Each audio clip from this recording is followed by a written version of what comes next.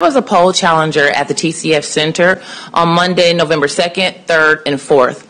On November 4th, early in the morning, I was standing at the adjudication table and a ballot came across the screen. The ballot had a straight party ticket vote for both the Democrat and the Republican. It was a filled in circle, which is an intentional mark. It's not a dash, it's not a dot. When the ballot came across the screen, there was no other marks, none of the judges, none of the other ballot proposals had been voted on. The poll worker then said, I think I'm going to give it to the Democrats. That's absolutely absurd. That is illegal. The vote should have been tossed out. At that moment, I said, absolutely not. I'm going to challenge this. So I go get her supervisor. And then her supervisor defers to her and says, well, what do you think?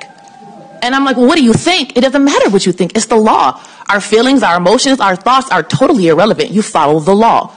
And that ballot is to be tossed out but she wanted to give it to the Democrats. So then I go get the gentleman who was overseeing the entire absentee ballot counting process while Daniel Baxter was gone. So this gentleman's name I do not know. I go get him. He's overseeing the entire process while Daniel Baxter is gone. I ask him. He says to the girl, What do you think? It was disgusting.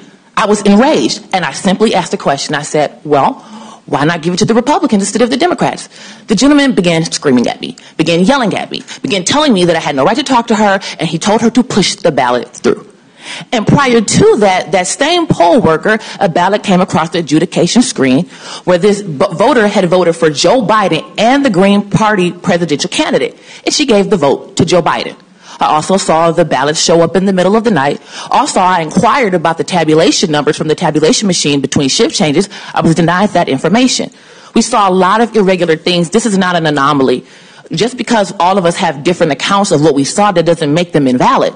And to expect Secretary Benson to actually do something about it is foolhardy. To accept, uh, to accept Dana Nessel to do anything about it would be foolhardy. So we're appealing to you guys to do something about it. Because if our elections aren't fair, then we have no republic left. It's a banana republic. We have nothing. And, and we don't trust the election process. Why do you think a lot of people don't vote?